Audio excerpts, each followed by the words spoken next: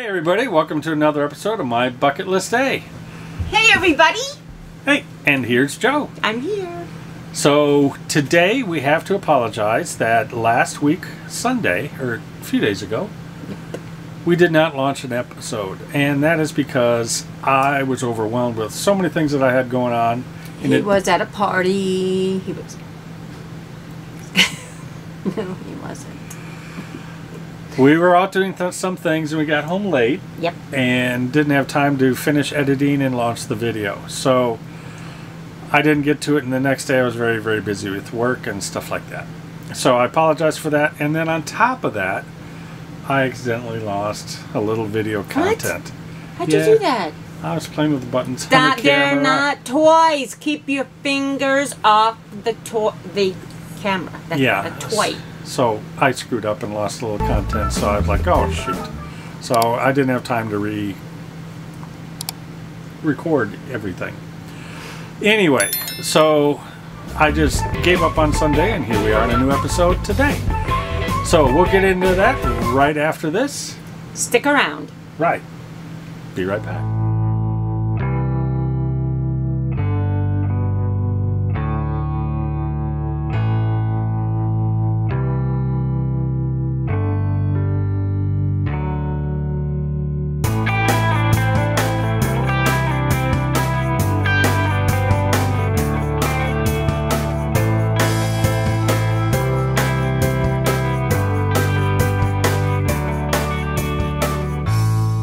Welcome back, kids.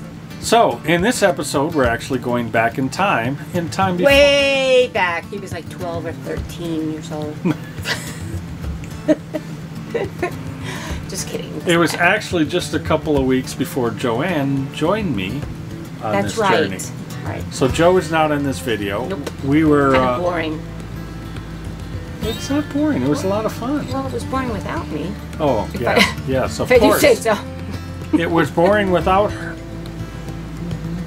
Anyway, this is when we were up in uh, Glacier National Park, and I was up there because my friend Tony and Candace got married up there. So several of us, close friends, were up there celebrating that.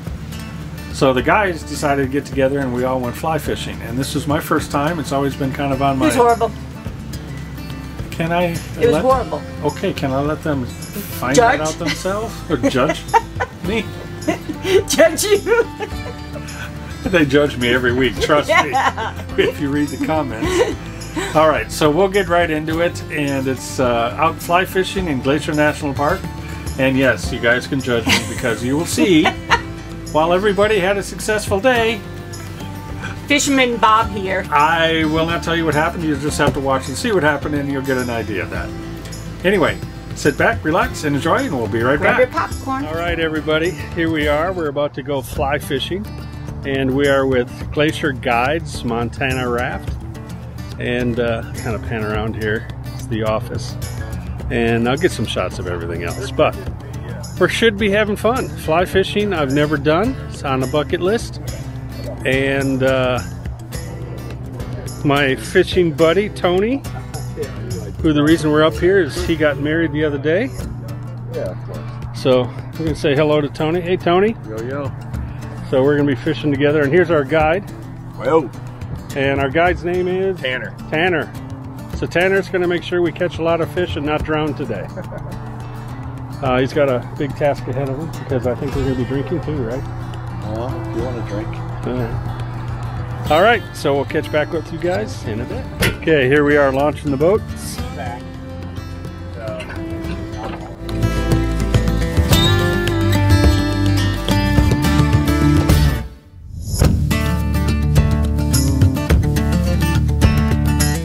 Okay, here we go. How many horsepower are we? One.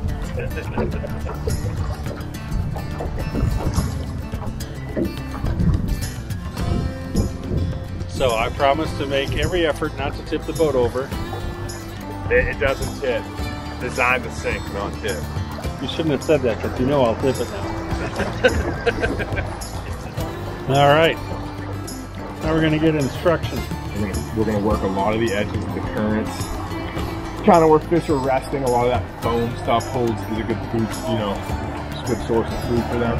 But like I said, you know, the old school method is like the toss too. Like 10, like a 2. You bring it back to 2, let it unravel, and bring it back over to 10. And just kind of, like I said, just it's a real finesse movement. It's real smooth. It's not, you're not using any muscle. All you're doing is kind of letting it unravel behind you sending it. You want to keep your wrist and your elbow straight.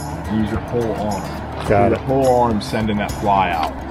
Okay. And I, and I don't like to set tell like kind of throw too much at people, but I kind of come down at a 45 degree angle just to drive it a little harder. Okay. Um, but yeah, like I said, 10 and two, and all and like you know that's enough line to start working with. But when you want to start, you know, peeling out a little bit more line, all you got to do is pull a little bit more line. Use the tension from the water, pull it out, and send it back out.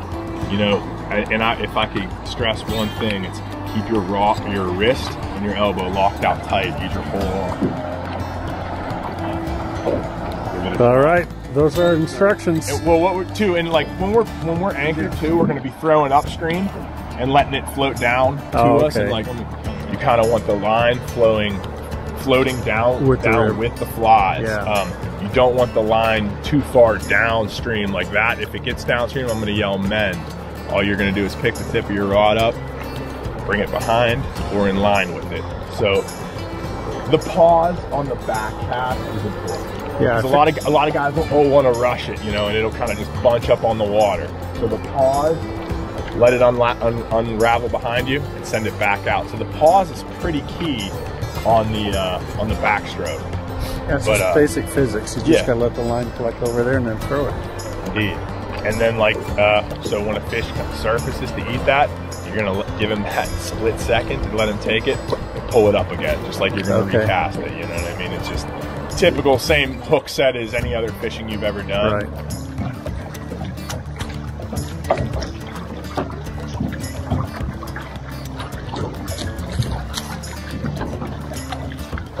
Mend it. Cool.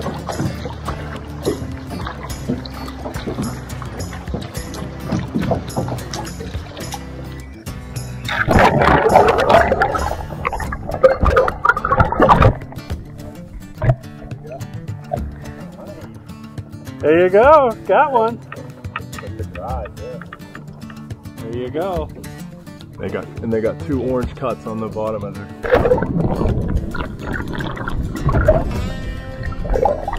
You got that one on camera, buddy.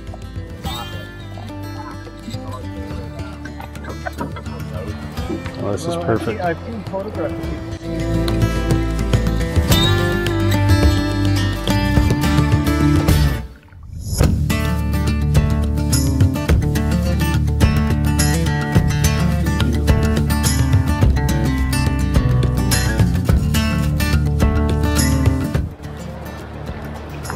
Hey guys, give a wave.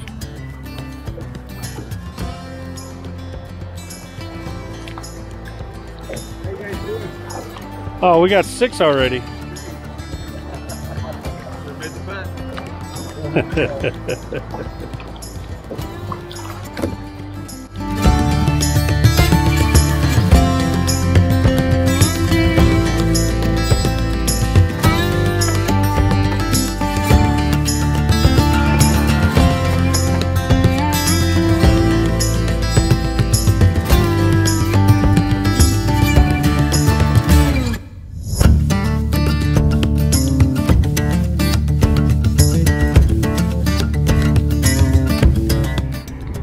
And here we are again with a, yet another tangle that I caused because I wasn't watching and I hooked up on the oar. It was an epic fail. It was another epic fail.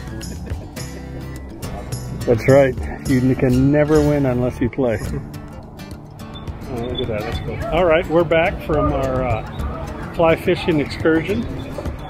Here are the boys. You guys want to go on camera? Say hi. Hey! He caught four. Yeah. You caught three.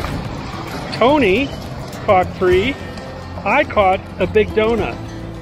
a big donut. But I got my lines tangled a lot, so I made our guide really work.